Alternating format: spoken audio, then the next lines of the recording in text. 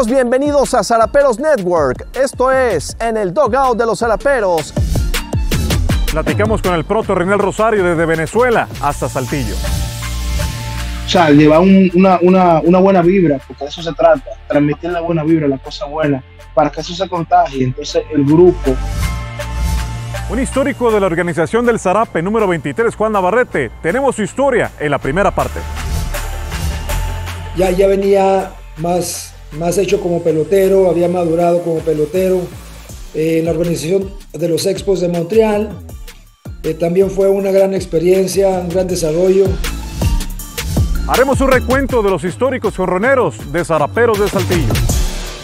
Otro que viene ya pisando los talones es Rainen Rosario, el proto que solamente ha jugado 5 años con Zaraperos, pero ya se coloca dentro de los mejores. La leyenda, el sargento Tomás Herrera, autor del lema El Dragón del Norte. Conoceremos su semblanza. Fue piloto de los Zaraperos en 1970, 1971 y 1972. Aquí comienza el sexto capítulo de la segunda temporada.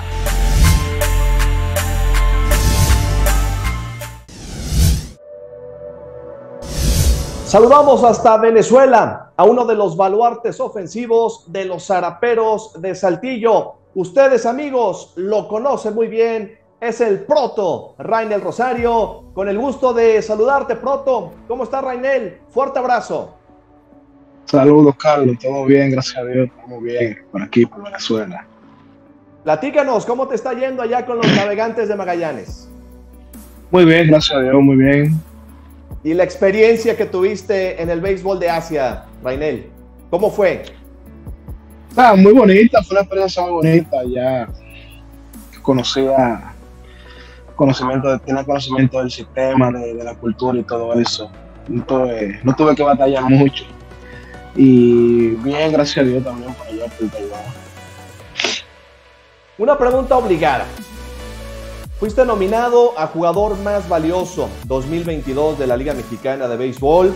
Tenías todas las cartas credenciales para llevarte esa nominación. Fuiste líder ofensivo en siete diferentes categorías. Una temporada, como lo he mencionado, monstruosa, como desde hace tiempo no tenía un slugger en la Liga Mexicana de Béisbol. No lo ganaste, no se te dio el MVP. ¿Cuál es tu sentir, te digo, no, como he dicho a la gente, o sea, es parte de, eh, también eh, Félix Pérez puso buenos números, hay que dar su mérito, hay que dar su mérito, él también puso un, tremendo, o sea, tuvo un tremendo año, gracias a Dios, y me llevo muy bien con él, con Félix, y, y él, sabe, y el punto a su favor, el plus que le ayudó fue que también él llevó su equipo a los playoffs, su equipo pasó a los playoffs, todo el mundo conocemos como el sistema, que eso es, un extra, eso le suma, y a pesar también de los buenos números que él puso. Rainel, ha sido desde tu llegada a Zaraperos una de las bujías ofensivas más importantes que ha tenido la organización. Ya estás dentro de los líderes en home run de todos los tiempos de Zaraperos de Saltillo. Estás poniendo tremendos números en términos generales. Pero viene un gran reto para el 2023 con el equipo del Zarape. Zaraperos tendrá una cara totalmente diferente, una nueva fisonomía para la próxima campaña. El reto Zaraperos 2023, Rainel. Bueno, yo le diría un reto, yo diría que, o sea, eh, una temporada más, va a ser un año, eh, tampoco se puede decir una temporada más, sino una oportunidad más que Dios nos va a dar y el béisbol también, de estar allí junto a mis compañeros y la organización de Zaraperos de Saltillo. Y bueno, ¿qué te digo? Nosotros desde, todo el mundo sabe que el año pasado, desde un principio, teníamos todo para, para nosotros de la clasificación, teníamos tremendo material. Eh, simplemente no se dio. Ustedes saben, el béisbol es así, el béisbol eh, a veces castiga, porque hubieron mucha sinceridad aquí, porque tampoco uno, puede hablar con tu no tiene que decir las cosas como son. Hubieron muchos detallitos que, que no se complementaron. Eh, en el equipo y eso fue lo que nos, sacó de una clasificación a los playoffs, porque el material sí teníamos. O sea, de hecho, cada vez que íbamos a jugar una serie con otro equipo, a mí me preguntaban y me decían, óyeme, ¿cómo ustedes están en último lugar? O sea, ¿cómo ustedes no están en clasificación? ¿Cómo ustedes pierden el juego? Inclusive, gente que llegaba recientemente a México, porque me pasó una serie que fuimos a jugar a Diablos con un compañero mío, un compatriota, recién llegado a México a Diablo, y me dice, Proto, y es verdad que ustedes no van a clasificar con ese equipazo que ustedes tienen. Yo le dije, béisbol, simple, es béisbol. o sea, el béisbol te da y te quita. Llegó un momento ya que el béisbol no estaba quitando por, por esas cositas, esos pequeños detallitos que no se complementaron, y ahí. Simple. Rainel, ¿cómo manejas la presión de batear prácticamente sí o sí en cada turno? Sabemos que esto es imposible en el béisbol, pero pues has hecho un magnífico trabajo, repito, en tus años con los Araperos. Será tu sexta campaña, la próxima, Dios mediante, en el 2023. Pero como un atleta, como tú, un pelotero como tú, es capaz de manejar esa, esa presión y de hacer el trabajo la mayor cantidad de veces posibles. Bueno, Carlos, si a mis 16 años de carrera todavía tengo presión, yo tengo que dejar esto entonces. No, no existe presión alguna, porque ahí es que te fallo. Cuando uno se pone presión en lo mismo, ahí es que uno entra en pánico, desesperación, y ahí es que lo, ahí es que uno falla. Eh, cuando uno quiere tratar de hacer más de la cuenta. Entonces uno trata de relajarse, simplemente eh, no respira profundo, cuenta hasta tres y uno se mete en ese home play a buscar el picho de uno y gracias a Dios, gracias a Dios, eso ha dado muchos resultados. Eh, o sea, manejar un poquito la, la, paciencia, la calma. Porque no te voy a mentir, llega un momento que uno siente su, su, presión, porque es parte de.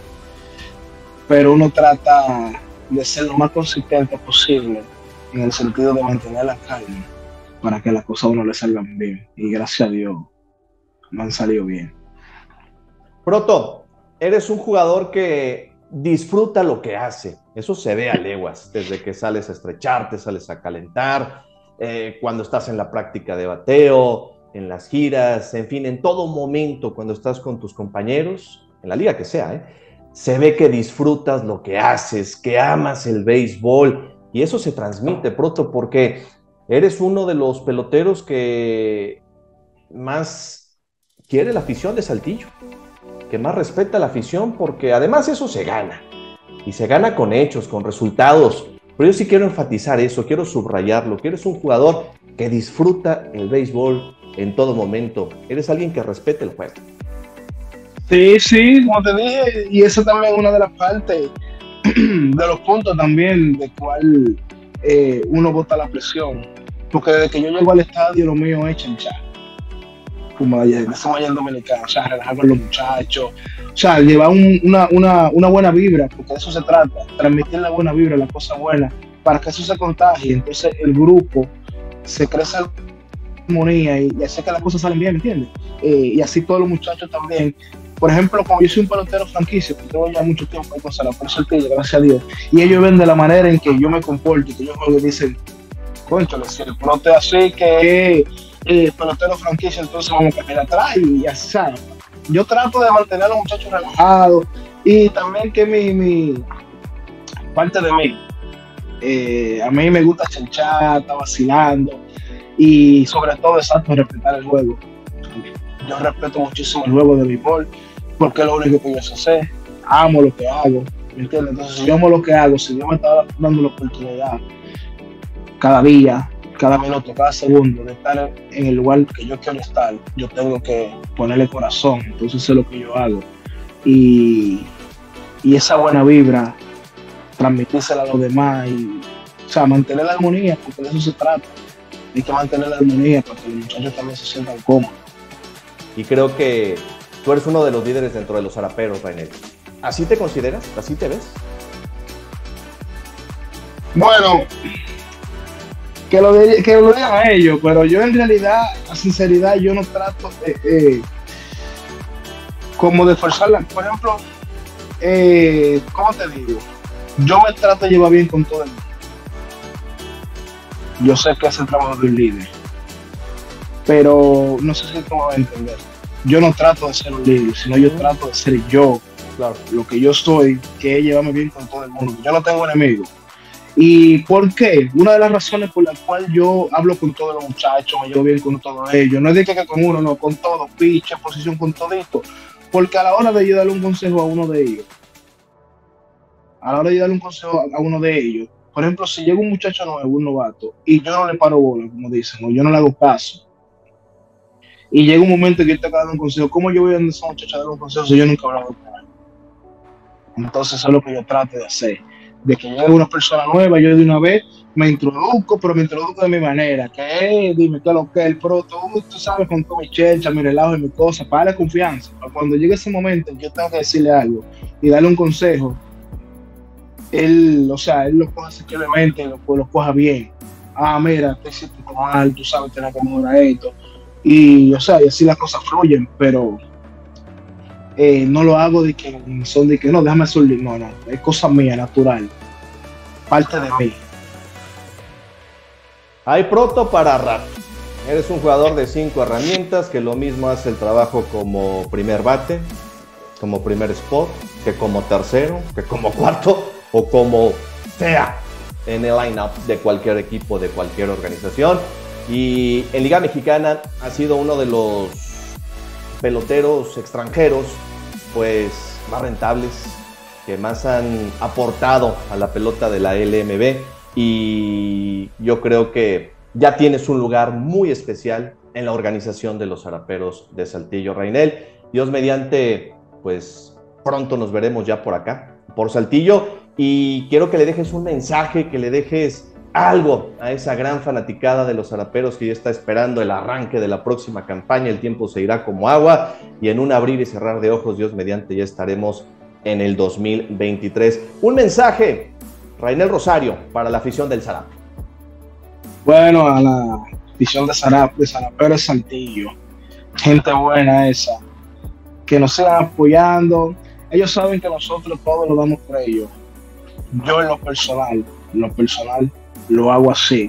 Me entrego en cuerpo y alma, sudo esa chaqueta, sangro esa chaqueta por ellos, porque son gente que siempre nos apoyan en todo momento, bueno y malo. Eso es lo mejor que tiene Saltillo, esa afición, esa fanaticada.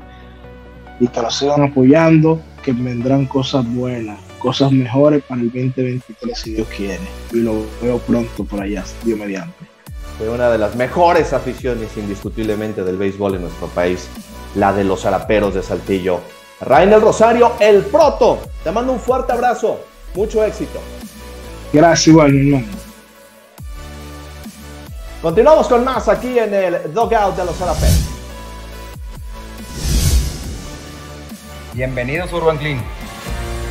Urban Clean es más que una tintorería. ¿Por qué? Porque damos diferentes tipos de servicio tanto servicio del hogar como servicio de tintorería, con excelente calidad y un servicio garantizado. La gente tiene que venir a Urban Clean porque tenemos las máquinas de última tecnología, tenemos empleados con más de 20 años de experiencia y la calidad que manejamos es de alto nivel. Urban Clean ofrece el servicio de Urban Kids que involucra a todo lo de los niños como accesorios, car seats, carriolas. También manejamos el servicio de limpieza del hogar, que eso incluye desde tu recámara con los colchones, limpieza de tapetes, de cualquier tipo de cosas que tengas en tu casa de tapicería. Urban Clean está ubicado en la Plaza Punto Colosio, sobre Boulevard Luis Donaldo Colosio, a un lado del restaurante El Cherokee. Urban Clean, la tintorería oficial de los zaraperos de Saltillo.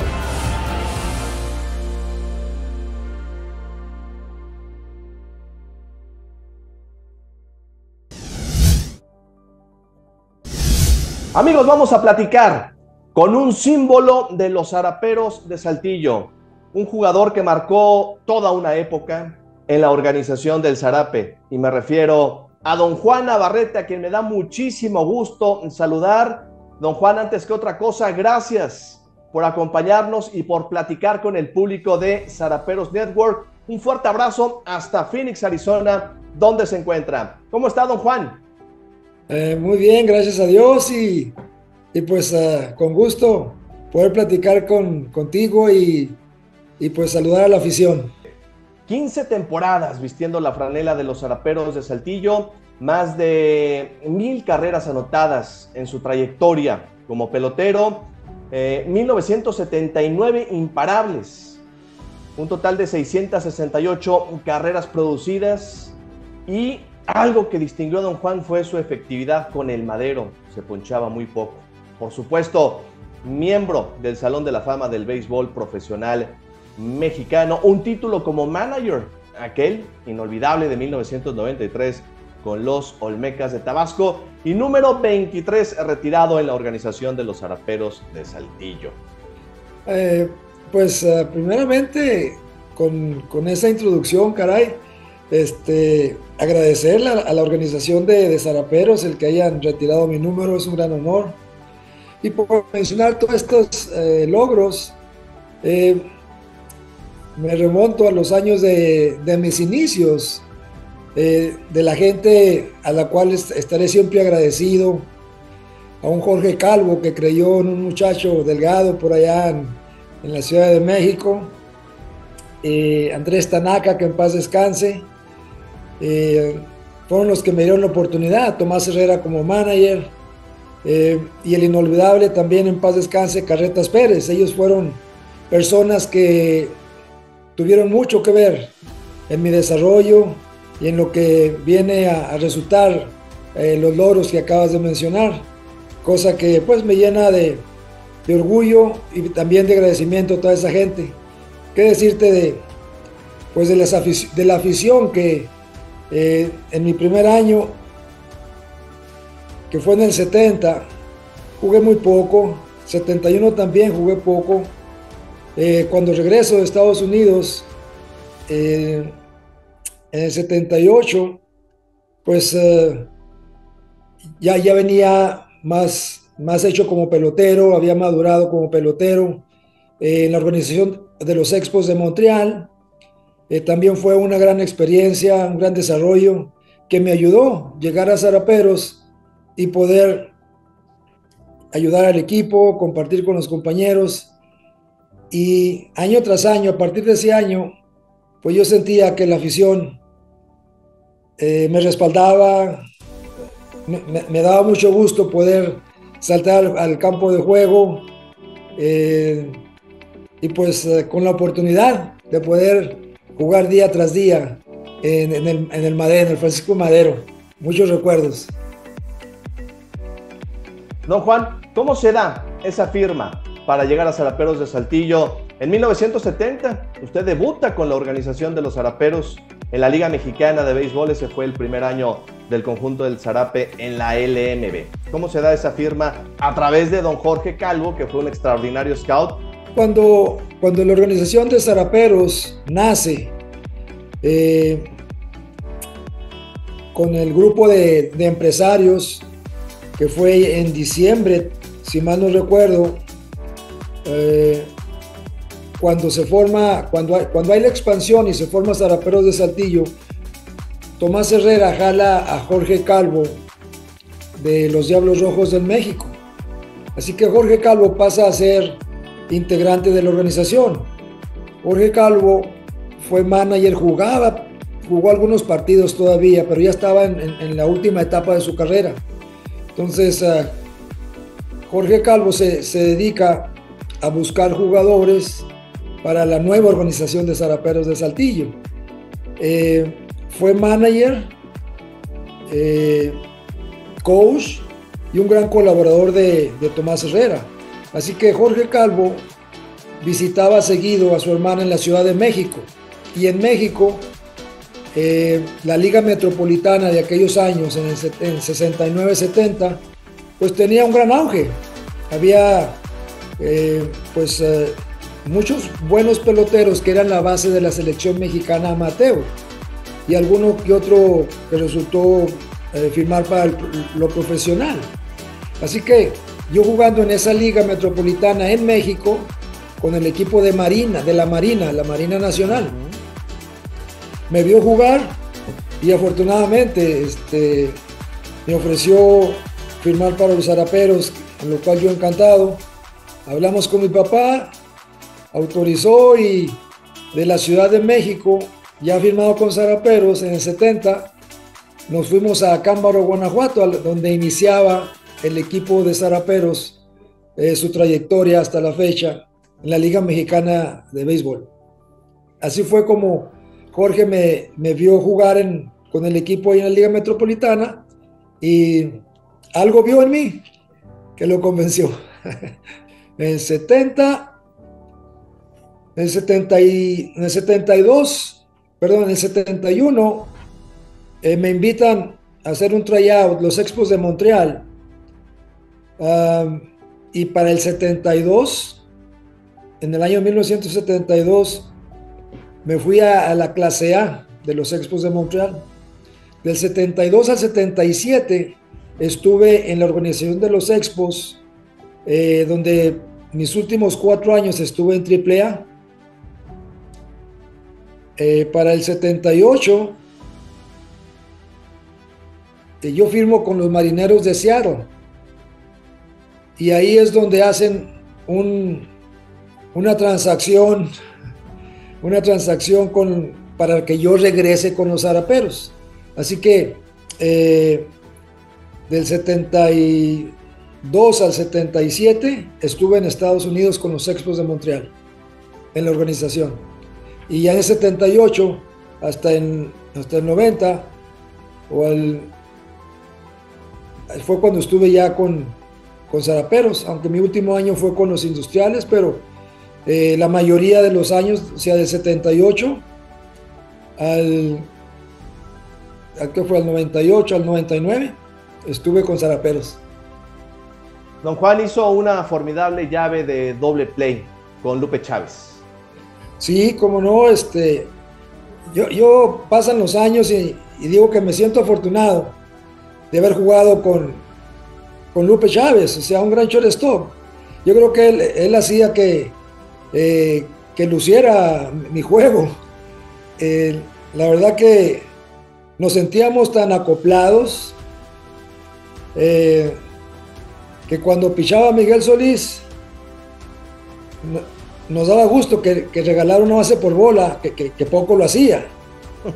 queríamos que regalara una base por bola porque él era un pitcher de sinker, una bola que se cae por lo y, por lo tanto eh, provoca muchas rolas. Así que con hombre en primera, menos de dos outs, rola y era doble play.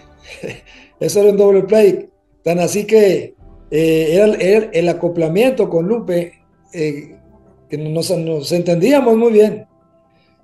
Yo sabía que una rola para él, en situación de doble play, yo sabía cómo y dónde le iba a tirar y, en fin, estaban muy bien acoplados y, este, pues muy, muy gran recuerdo de el haber jugado con él y aprovecho para mandarle un saludo a Lupe Chávez y a toda su familia.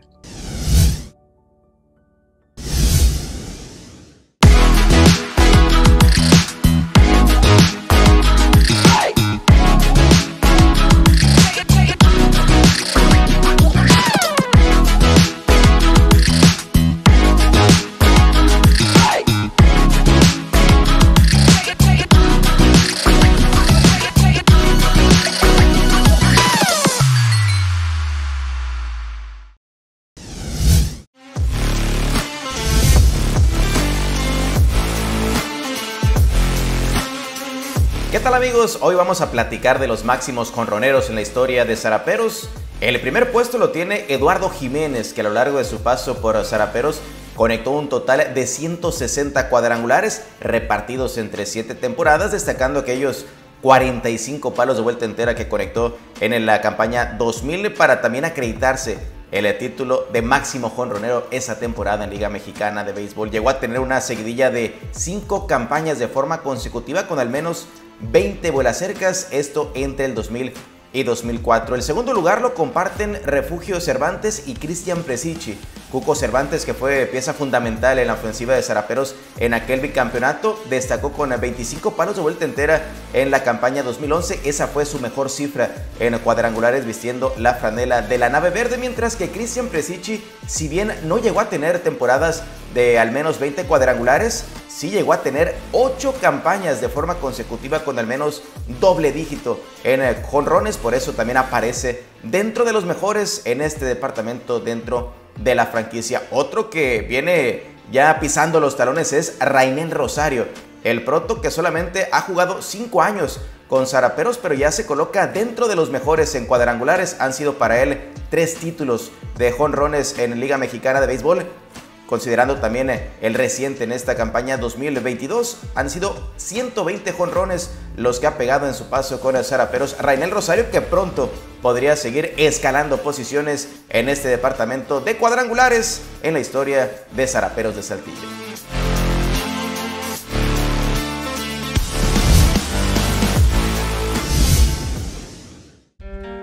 Morapán inicia desde mi bisabuela, después mi abuelita haciéndole casa, luego mi madre también en la casa y luego iniciamos Morapán en casa. Hace seis años Morapán abre en San Patricio por primera vez.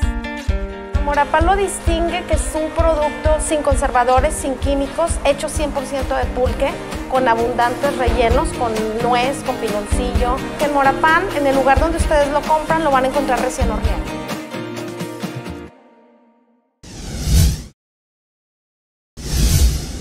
Tomás Herrera, el sargento metralla, conocido así por su gran carácter dentro y fuera del terreno de juego. Nacido en Laredo, Texas, fue el primer manager y gerente general en la historia de los zaraperos de Saltillo y pieza clave en la incursión del zarape en la Liga Mexicana de Béisbol. Fue piloto de los zaraperos en 1970, 1971 y 1972. Tuvo marca de 242 victorias por 193 derrotas guiándolos a dos series finales, época en la que los zaraperos eran conocidos como los Dragones del Norte. Ganó títulos dirigiendo al México en 1964 y 1968 y como gerente general a los Tecolotes en 1977 y a los Tigres Capitalinos en 1992. Fue scout de las organizaciones de Cincinnati y Filadelfia su inolvidable número uno está retirado en los Zaraperos de Saltillo. Los esperamos la próxima semana y recuerden que todos los viernes es la retransmisión a las 11 a.m. en WW y a las 12 p.m. en LAS a través de Megacable y Total Play. Sigan las redes sociales de los Zaraperos de Saltillo, Facebook, YouTube, Instagram, Twitter y TikTok y todos los contenidos de Zaraperos Network. Pásela muy bien.